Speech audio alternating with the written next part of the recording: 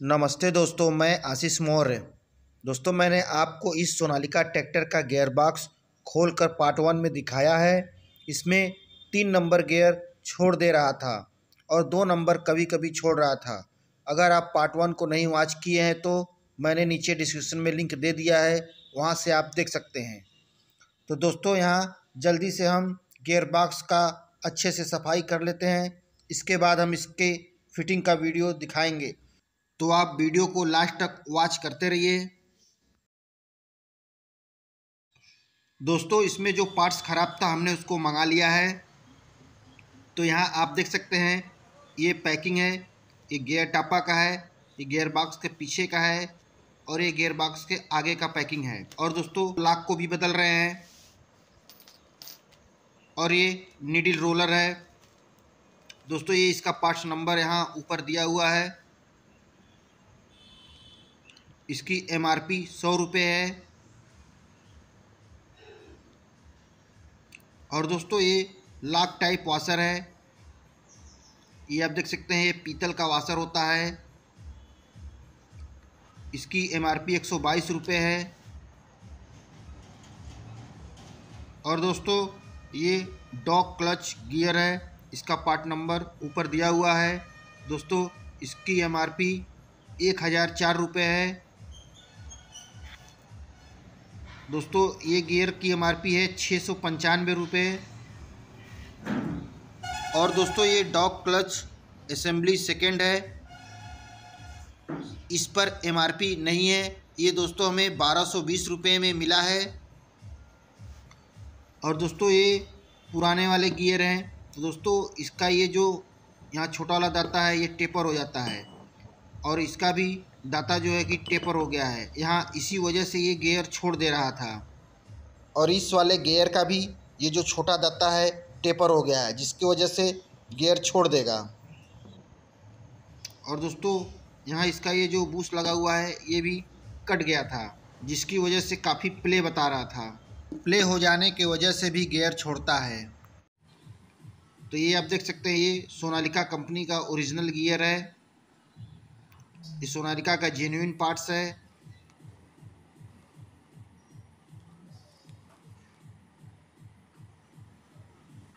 दोस्तों, अब जल्दी से हम इसके काउंटर को फिट करेंगे। तो यहाँ आप देख सकते हैं, हमने काउंटर में ऐसे गियर को लगा के रखा हुआ है ताकि जल्दी से गियर फिट हो सके। तो दोस्तों, इसके गियर बॉक्स में हम एक एक गियर करके लगाएँगे। तो यहाँ ऐसे हम सभी गियर को नीचे बैठा लेंगे।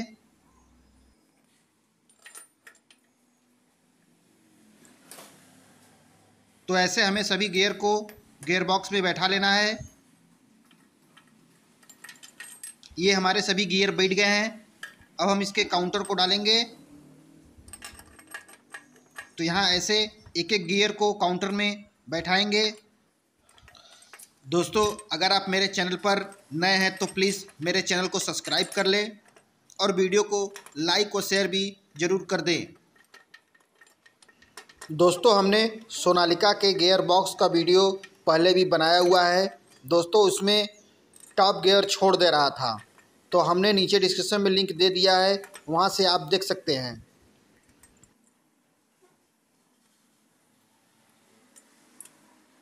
तो दोस्तों ये आप देख सकते हैं, ऐसे काउंटर को हम गियर में बैठाते हैं।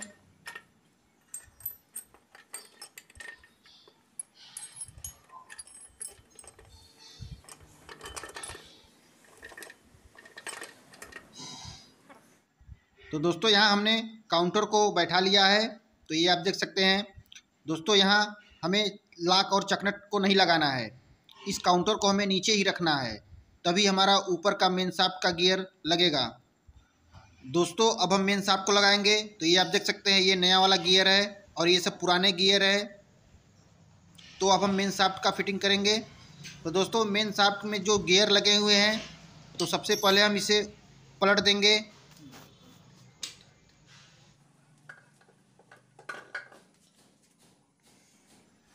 तो अब हम एक एक गियर को लगाएँगे। तो ये आप देख सकते हैं, ये वाला गियर पहले इसमें लगाएँगे तो यहाँ ऐसे हमें लगा लेना है। अब उसके बाद इस वाले गियर को लगाएँगे। अब दोस्तों, यहाँ हमारा एक लाख लगेगा तो हमें लाख को भी लगा लेना है। तो यहाँ ऐसे हम लाख को लगा लेंगे। दोस्तों, इस मेन शाट में तीन लाख लगेंगे। अब दोस्तों, इस वाले गियर को लगाएँगे। तो यहाँ ऐसे इसको लगाएँगे।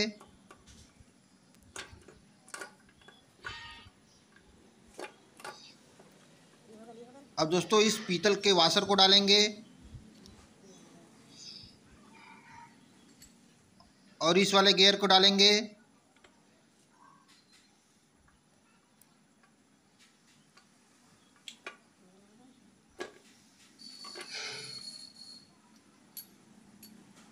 दोस्तों, यहाँ पर इस वाले गियर को भी हम लगा लेते हैं और उसके बाद इस लाख को लगाएँगे। ये हमने दो लाख लगा चुके हैं।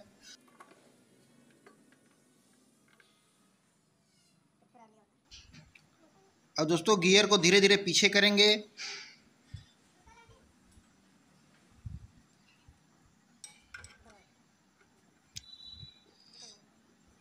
तो यहाँ गियर को पीछे करने के बाद इस वाले लाक को और पीछे करेंगे।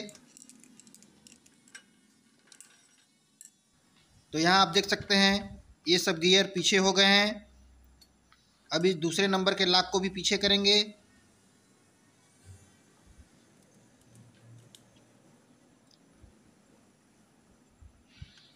यहाँ ऐसे पीछे कर लेना है।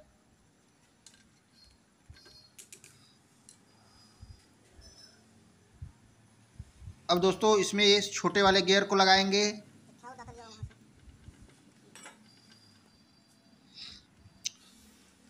अब दोस्तों, हमारे सभी गियर मेन साट में लग गए हैं। तो अब हम लाक को बैठा लेंगे।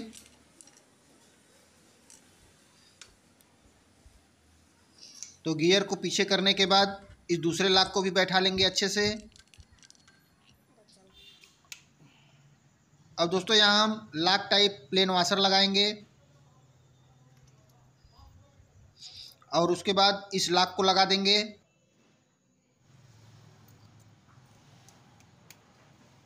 तो यहाँ हमारा ये तीसरा लाक भी लग चुका है। दोस्तों इस छोटे वाले गियर को भी यहाँ लगा देंगे। ऐसे ये हमारा टॉप गियर है।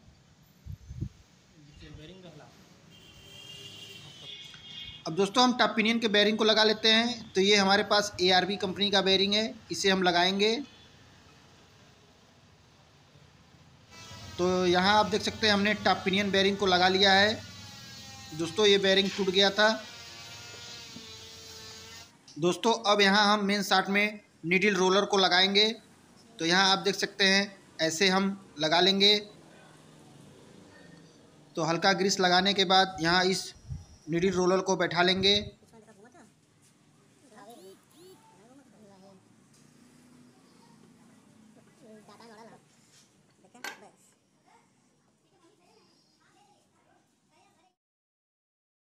तो दोस्तों, यहाँ हमने पूरे रोलर को लगा लिया है। तो यहाँ आगे से टप पिनियन को हम ऐसे लगाएँगे।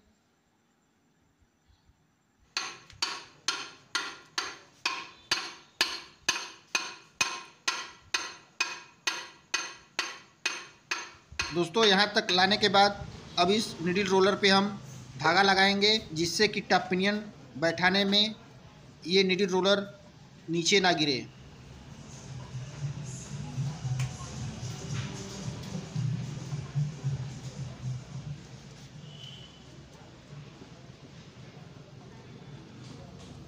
तो यहाँ ऐसे हम धागा लगा लेंगे।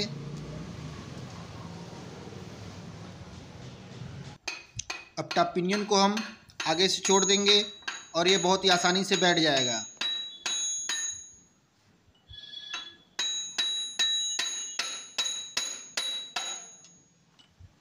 तो यहाँ आप देख सकते हैं टप पिनियन बहुत ही आसानी से बैठ गया है। यहाँ टप पिनियन बहुत ही अच्छे से बैठ गया है। तो दोस्तों, ये हमारा ऊपर का मेन साप और टॉप पिनियन अच्छे से सेट हो गया है। अब दोस्तों हम टॉप पिनियन के आगे वाले लाक को भी लगा देंगे। यहाँ ऐसे। और दोस्तों यहाँ हमने काउंटर के चकनट और लाक को भी लगा लिया है। तो ये आप देख सकते हैं हमने अच्छे से लगा लिया है। अब दोस्तों इसमें हम चिलमची और इस प्लेट को भी लगा देंगे। तो यहाँ हमारा आगे का ये फाइनल हो गया। दोस्तों अब हम काउंटर के पीछे वाले हाफ़ काउंटर को लगाएँगे। तो दोस्तों, यहाँ हमने हाफ़ काउंटर को लगा लिया है और यहाँ हमने पीटीओ साफ्ट को भी अच्छे से लगा लिया है। अब दोस्तों, यहाँ हम लो हाई गियर को लगाएँगे। तो पहले इस गियर को अंदर लगा लेना है और इस वाले गियर को ऐसे लगाना है। यहाँ ऐसे लगा देंगे और साफ्ट को ऐसे बैठा देंगे।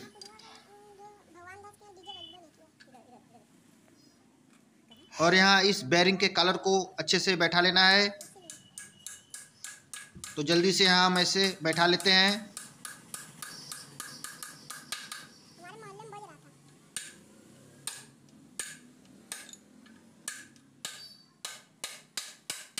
तो यहाँ कलर को अच्छे से बैठाने के बाद अब इसके प्लेट को लगाएँगे।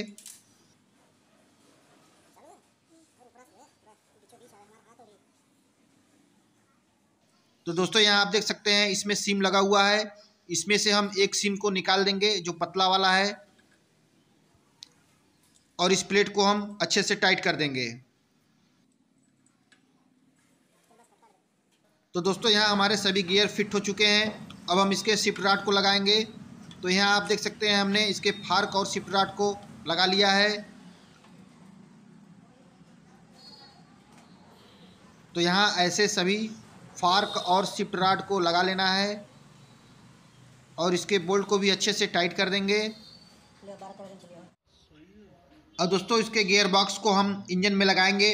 तो यहाँ ये जो फार्क देख रहे हैं, इस क्लच बैरिंग में फंसाना है। तो यहाँ गियर बॉक्स को आगे करेंगे और ये बहुत ही आसानी से फंस जाएगा। दोस्तों, अब ट्रैक्टर को चला के हम चेक करेंगे कि हमारा तीन नंबर छोड़ रहा है कि नहीं।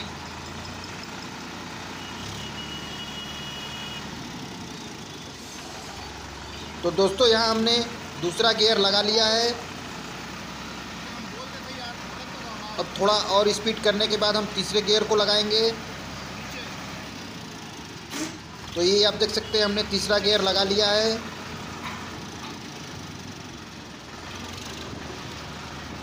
तो दोस्तों, यहाँ आप देख सकते हैं, ये तीन नंबर गियर नहीं छोड़ रहा है। हमने काफ़ी स्पीड में गाड़ी को भगाया, लेकिन यहाँ तीसरा गियर नहीं छोड़ रहा है। तो ये आप देख सकते हैं, ये तीन नंबर लगा हुआ है।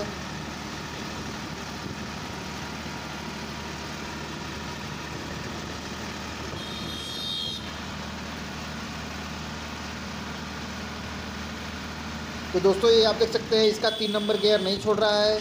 अब हमने टॉप गियर को लगा लिया है। तो दोस्तों, अब हमारा ट्रैक्टर बिल्कुल ओके है।